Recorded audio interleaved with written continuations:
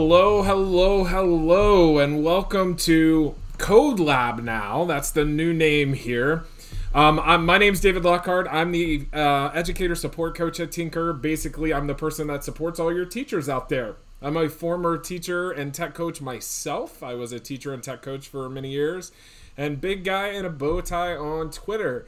And with me today, I have my friend Mr. Rezak. How are you, Mr. Rezak? Well, I am so excited. I'm so excited that uh, to be in the code lab. That is where we are. We're in the code lab in this space. Uh, it's exciting, and I'm always excited to share uh, share uh, projects and ideas with Tynker. Uh, today, we're going to be sharing a really fun one, so uh, I'm excited about that. And uh, healthy and, and, happy here in, in Chicago. I'm in Atlanta, so I'm healthy and happy in Atlanta. And so today, what we are going to do, or we are going to do the Code Lab uh, collaborative coding with Crystal Clash. And so let's kind of flip over. Can you tell us a little bit about this Crystal Clash there, Mr. Rezak? Uh, yeah, absolutely. So today uh, we're going to be uh, we're going to be doing very beginner stuff with Crystal Clash. Crystal Clash is a uh, collaborative environment where students can um, they can code kind of like with other people all around the world. Uh, and basically, it's like an introduction to bot programming. That's what it is. Uh, and so Crystal Clash kind of land. You program your avatars or your heroes and then uh, they you put them in the arena and let them do battle. Uh, so we're going to be coding uh, a few different uh, heroes today. We're going to be building our hunter, our lion, our shadow, and then we're just going to you know take some questions and see how we can make those uh, heroes a little bit better, see how we can iterate and improve our our heroes and, and, improve our game. So it's going to be great.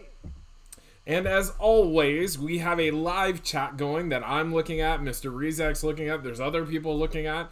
And so we definitely want you guys to go and tell us what you think. Like, are you going to be able to go in there and build your hunter, your lion, your shadow? Um, tell us what you think. Tell us what you're at. Ask questions. If something's not making sense, um, make sure we know and we can definitely go back to it. But before we get there, let's go and see how to get started and how to get to Crystal Clash in the Hour of Code. Hey everybody, let's get started. So, what we're doing today is we're actually doing an hour of code lesson. And so, all you have to do to get started is go to tynker.com and you click that sign in right above my head. And what you're to get once you click that sign in is you're to get this big orange box that comes up. And if you're a student, you're to click over here and sign in as a student. If you're a teacher, you can just go right above the head where it says teacher and you can sign in that way. Now, with the hour of code, there's a couple of different ways to actually get to it, and it depends on how what kind of uh, profile you have if you're a teacher or a student. So the first way is actually if you're a teacher. And so if you're a teacher, what you can do is you can click the resources page over here, and then there's that hour of code tab up there at the top. That'll get you to the hour of code page where you can access this lesson. Or what you can do is you can actually go into one of your classes, an hour of code's already assigned for you. And so you can go and you can click this button that's like right above, right behind my head that says manage lessons, and it'll take you right to the hour of code page.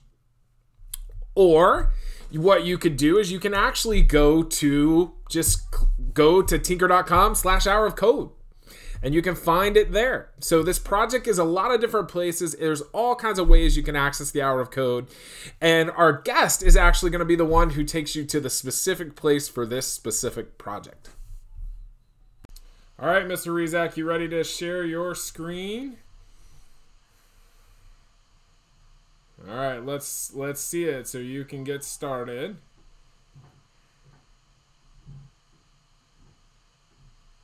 Can you see my screen? We can see your screen. It's all you now. Oh, joy. All right. So, again, uh, the, the, idea here is we're going to make three heroes uh, that are going to do battle. And uh, we'll walk you through all of those things here in just a minute. Um, just so you know, I'm logged in as a student. Just thought that might be a, a little better of a view since uh, this is for students. But the way I'm getting to uh, this uh, Crystal Clash is I'm just going through my hour of code. Uh, and there's a couple ways I can do that. I can go in my class, like you said, uh, and then in the bottom of my classes is uh, the hour of code, or I can just go to the hour of code page. Uh, so I just in it through my classes. So that's how I got there. And then you can see down there, you've got Crystal Clash right there. Uh, so I open that up. And here I go. So uh, in this little land, the first thing you're going to need is you're going to need to create a hero.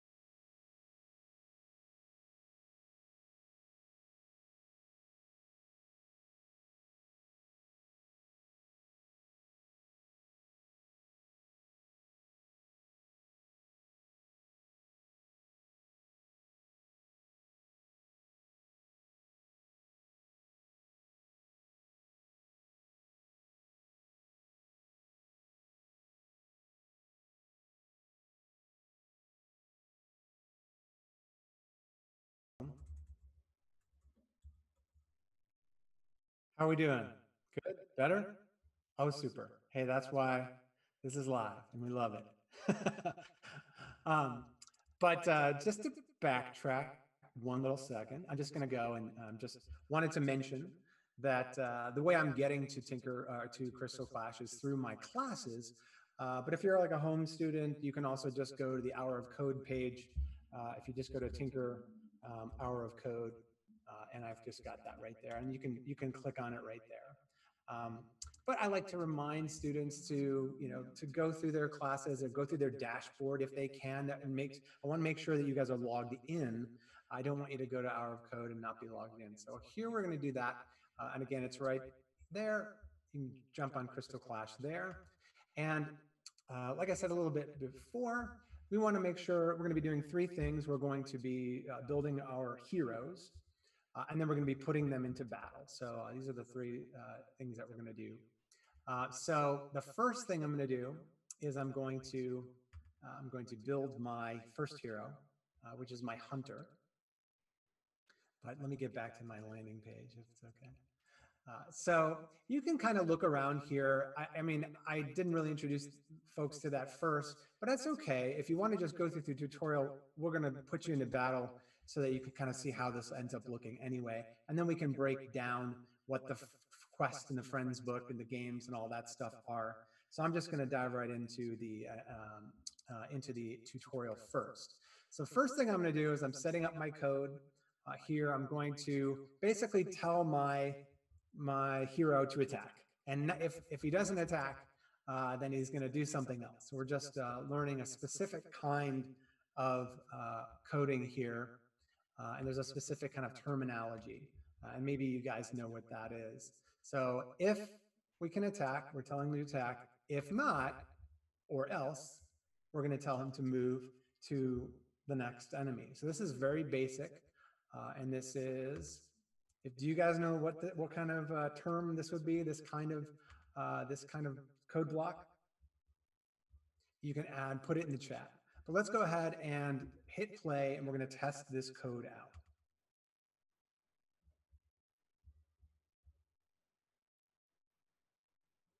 All right, so now we are in our arena.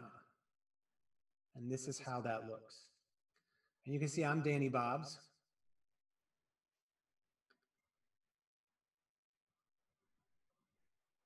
And what's nice is you see the little block uh, above him above my avatar there, kind of telling you what uh, what he's going to be doing. He's shooting, he's moving, he's moving around. That's great. So congratulations, we win. Uh, so I'm going to go ahead and save and exit. Uh, do you guys have any questions while we're paused right there? We've done the first one, so that's great. Yay, we're back. No problem. Um, so this is, you know, this is a conditional basically. So we're doing if then statements uh, basically. and we need to get better, right? So we have our, our you're always pretty much going to win your first battle with your with your hunter. Uh, but let's go ahead and get into tutorial number two. Uh, and again, if you, if you guys have questions, thoughts, uh, just let us know. We'll pause, uh, give you a shout out in the chat. So now I want to do a little bit better. And as you go through these tutorials, you're going to have three heroes that are going to be of a little better skill every time. We love dogs. And so now we're going to put this in here. So we're, we're adding some conditionals here. There we go. So now we're going to add more than one. We're going to add more than one statement here. So there we go. So what's going to happen? Uh, right now, if we can attack, we're going to attack. Or if we can't, right, uh, we're going to go um, to the nearest power up, right, if it's less than four. And then if we can move to the nearest power up, then uh, uh, so that's so yeah yeah. So if we attack and attack, and then if we if the nearest power up is less than four, we're going to move to that power up.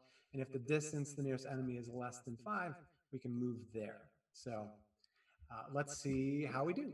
Let's see how we do. Or else we'll move to center. There we go.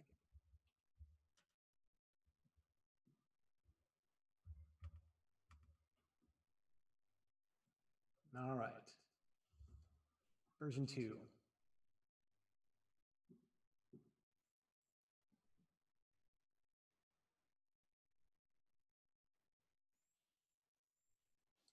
Now notice in the second tutorial, I don't always win, right? So as the game gets a little bit more challenging, as you get more skills, you're gonna meet other characters that have better skills. And so if we didn't win, what do we have to do, right? We have to, we have to fix something. We have to get better. Luckily, there's a third tutorial that'll help us uh, uh, do the, uh, uh make it even better um, uh, hero and that is the shadow. So pausing, questions, thoughts. Somebody says that's cool, and I do agree. It is cool, uh, but uh, we got to do better than that. And I know that my my shadow will do very well. So if you go to your third tutorial, again, we're just building uh, additional statements, and we're adding logic basically to this uh, to this character, uh, and the more logic you have, I think you probably would guess the better your chances of uh, improving, of winning. And so um, let's add, we've got our first statement, right? If I can attack, then I'm going to attack. Uh, if there's an enemy visible or a power up, so now I'm adding additional uh, options here. Uh, so if, if an enemy is visible or a power up is visible, then I'm going to move ahead. And my next one is if the number of enemies is less than one, then I'm going to move away. And you guys can start thinking about, is this logic even good? You know, like maybe there's a better way to do this. What, this is the last part, you know, that I'm always curious about is uh, if none of these, uh, you know, uh, variables are present, then it's going to say move to the nearest enemy. So it's kind of creating a, a, a bit of a loop. So let's go ahead and complete that and hit play and see what happens on our third try.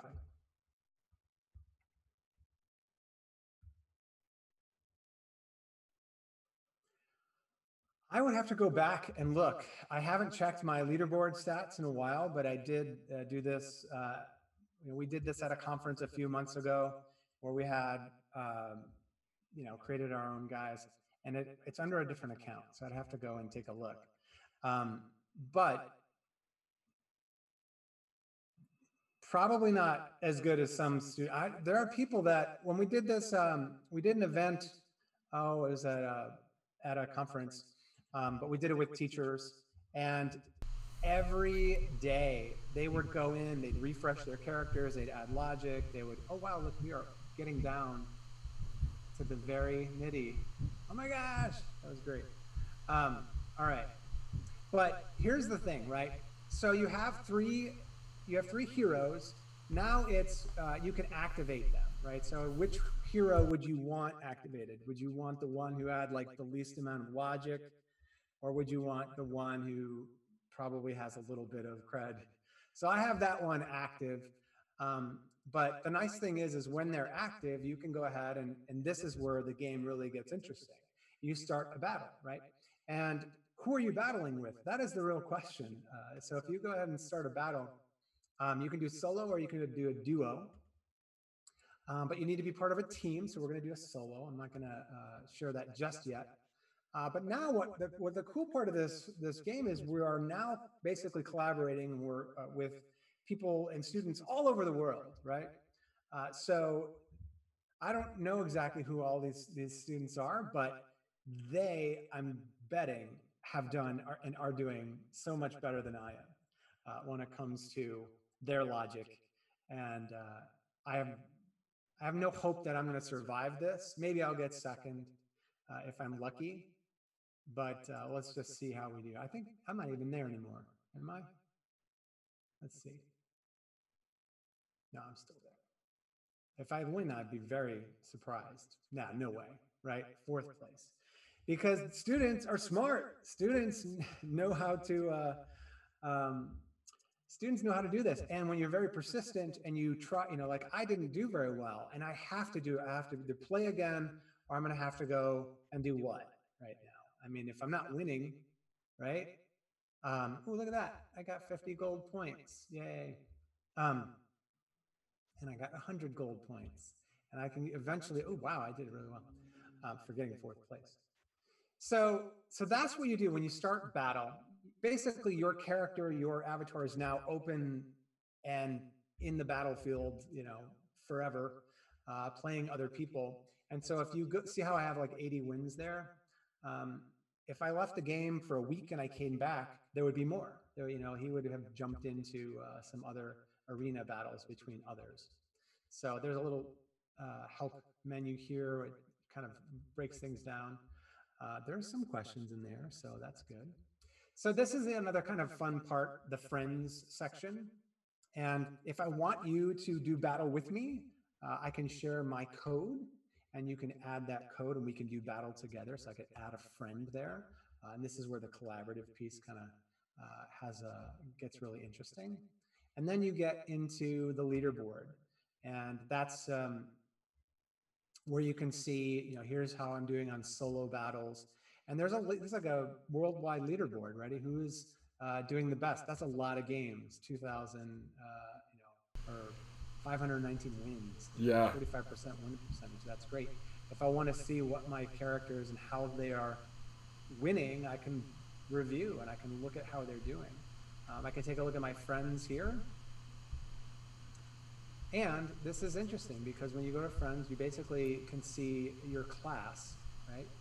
Um, this is how you're doing against students in your, if you're in a part of a uh, school and you have a class, you can look and see who's doing what in your particular class.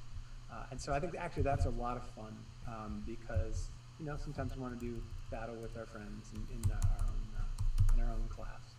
Uh, and then we do this like in season, so you can go back to last season, the season before, and you can see how you did um, previously. Uh, but this is this is Crystal Clash. This is bot programming.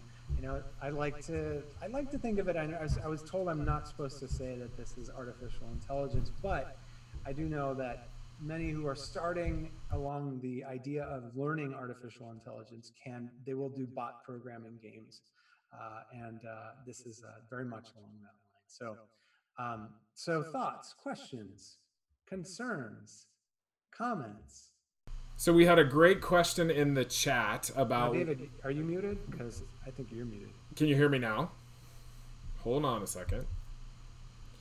So we had a great question in the chat. So I think I was muted on the Zoom on, on your side, not on their side. No but um, yeah. So a, why is logic so important in coding? Well, you know, coding is all logic. You know, it's a language uh, in in its own right. Um, and it's it's you know basically I think when you when you think about um, the whole concept, it's about moving something from point A to point D or creating some sort of process. Uh, and whenever you have a process, you know, I will go back to the time where when I was, you know, 10 years old, we had this thing called a Big Trak in our in my house. It was a toy where you could program it to go like five feet, turn left, you know, go three feet, go forward, and you could program this thing to go all through your house. Uh, so the whole idea uh, of programming is about logic. How you know what are your obstacles? Are there and those would be variables. You know what are the things you have to work worry about? You know hitting the wall uh, or you know going around. Uh, so um, this whole game is designed to be uh, basically about improving logic. You know you're you have all these variables and some th- this game's going to throw even more out at you, right? It's going to say uh, well, now there's power ups and there's, you know, uh, people have shields and there's all these things that you have to. Uh, um, some characters can start spawning in different spots. So how do you deal with, deal with those variables and uh, uh, improve your, you know, improve your your logic, improve your uh, outcome um, to to the best of your you know your ability to so that it it's the outcome that you desire. Yeah, I've got to, I've got to, I've got to start uh, really diving deeper into Crystal Clash. I've played with it a little bit, but it's one that I gotta, I gotta learn a little bit more with.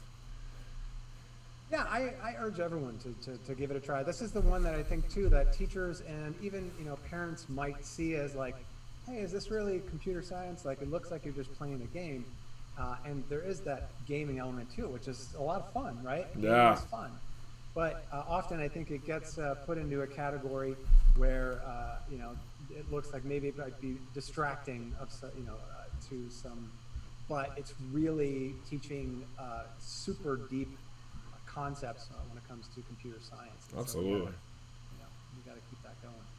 So, any other questions in the chat? Um, so, um, my friend who just posted their friend code, um, I I can't approve that comment just for now, but uh, we definitely we can. Uh, I mean, we can do that a little bit later, just because we got to keep you anonymous on this show. I apologize, my friend. Um, but if there's no other questions, I think what we'll talk about is we'll transition to talk about the next show. The next show is actually tomorrow at the same time. Um, 2 p.m. Eastern, 11 p.m., 11 a.m., not p.m. Uh, Pacific time. Um, definitely join us. I believe Mr. Rezak is hosting, and I'm not exactly sure who what the project is tomorrow. I know I've seen it. Maybe you can remind me, Mr. Rezak. Oh, no problem. Tomorrow it is Mr. Alaprandi. He's going to be joining, uh, and we're going to be going through. Uh, which one is it? I've got it here. I actually pulled it up on my screen, but it's uh, Space Cowboy. I think Space uh, Cowboy is. I thought Space no, Cowboy was Thursday, and that's the one that I'm right. doing. Mine is in reverse for chronological order. So it is uh, uh, Project Prowess with Pattern Maker. We're going to be doing Pattern Maker. Oh, that and that's a really cool project. It teaches some great math skills there. Math and art. Uh, yep. Which is two great combinations. Absolutely. Again, this is a beginner project, but anybody can take. You can take any one of these projects and make them into an advanced project. So if you think we're just talking to uh, the, the, younger ones. We're talking to everyone. Absolutely. Um, go as far as you as you want with these. So that is tomorrow. All right. Well, thank you for joining us, Mr. Rezak. If you want to not share your screen anymore, so they can oh, see you. I can stop. there you are. Um, so yeah. So join. So thank you for joining us. Uh, a few things still to work out, but we'll definitely get them worked out. And here. No is the outro.